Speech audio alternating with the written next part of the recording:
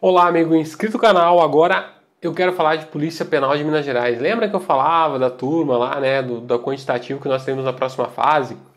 Então, e das desistências. Então eu tenho uma informação que eu quero colocar na tela que eu achei interessante aqui, que tá rolando no, no WhatsApp, Telegram aí, olha só, sobre as desistências do curso de formação, é, do que está vendo agora, que está acontecendo na Polícia Penal de Minas Gerais, tá?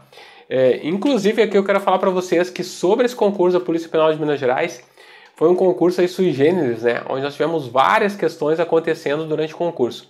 Então eu estreio aí um programa, dois programas novos em junho, tá? O Stand Strong, que é o Ficando Forte, que é um devocional para homens em inglês, né? Então para você treinar, praticar o seu inglês e eu também.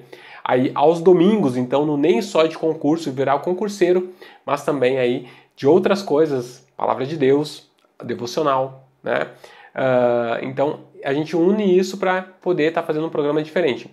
E também vai ter o um programa aqui que eu vou estrear semanal, que é o uh, No Rumo da Aprovação, né? No, no, na rota da aprovação, ou na estrada da aprovação, ou no, é no caminho da aprovação, já tinha esquecido o nome, no caminho da aprovação. Rota, caminho, como você quiser chamar. Onde eu vou toda semana aí tá falando sobre técnicas, dicas de como a gente faz para se preparar para chegar à aprovação aí durante o caminho com um programa assim bem legal, você pode participar, vai ser ao vivo, então toda semana, todos os sábados eu vou trazer para vocês. E uma vez por mês nós teremos uma entrevista. Então a primeira entrevista no final de junho, tá?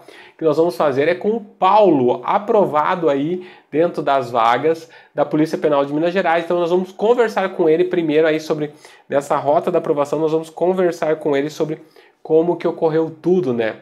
É, vamos ver, tá programado no final de junho, tá bom? Sobre como que foi a preparação, o susto aí, de tudo aí que vocês passaram nesse concurso da Polícia Penal de Minas Gerais. Mas eu quero colocar na tela, olha só, sobre a desistência. Então, olha só, falaram, então, olha, falaram que teve mais de 200 desistências.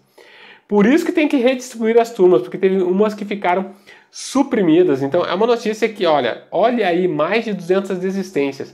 Teve um outro chat que disse 80 sem desistência. Então, gente, Cara, se tem essa falatória aqui, porque temos desistência no concurso. Então, é aquilo que eu falei, gente. E nós estamos apenas no começo, tá? Por que, que eu falo que isso é muito importante para você que está fora das vagas? Primeiro, porque você já, olha, se tem desistência, você já ganha um direito subjetivo de vaga, né? O governo teria que te chamar, porque, olha, houve uma desistência. Então, dá para entrar até com ação judicial. Aí agora aqui eu faço o meu comercial aqui de uma pessoa que é apoiadora do canal aí longínquamente, já faz um ano e pouco a gente tem essa parceria, que é o doutor Agnaldo Bastos, né, que é uma das pessoas aí que tem entrado com ações, né, entrou com várias ações aí na Polícia Penal de Minas Gerais também, com recursos em outros concursos, então se daqui a pouco aí você se sente preterido, tá aqui o telefone contato do doutor Agnaldo Bastos para você conseguir então poder buscar seus direitos, ok? Mas mesmo que isso não aconteça, que você não vá buscar através de um advogado aí com uma ação.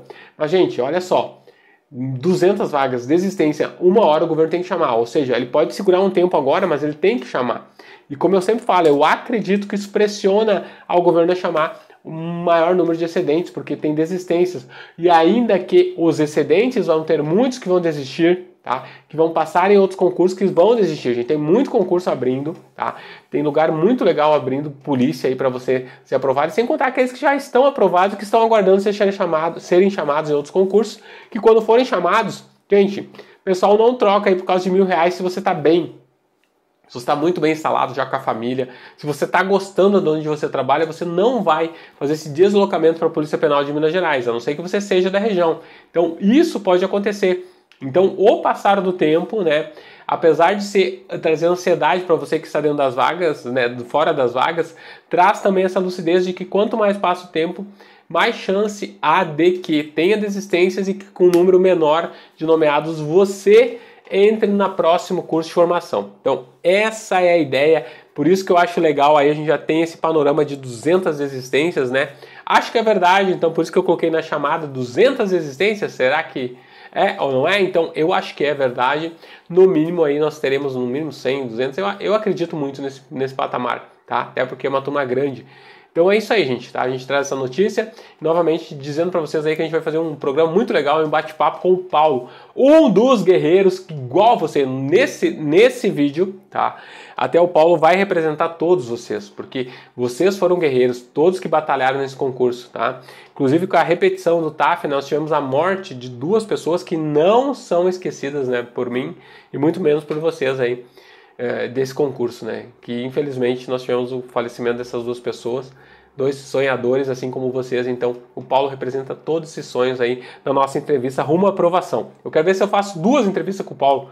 Uma agora e outra depois, quando ele estiver já trabalhando aí para a gente sentir como que é, se foi, se realmente ele realizou o sonho na vida dele aí trabalhando na Polícia Penal de Minas Gerais, tá certo?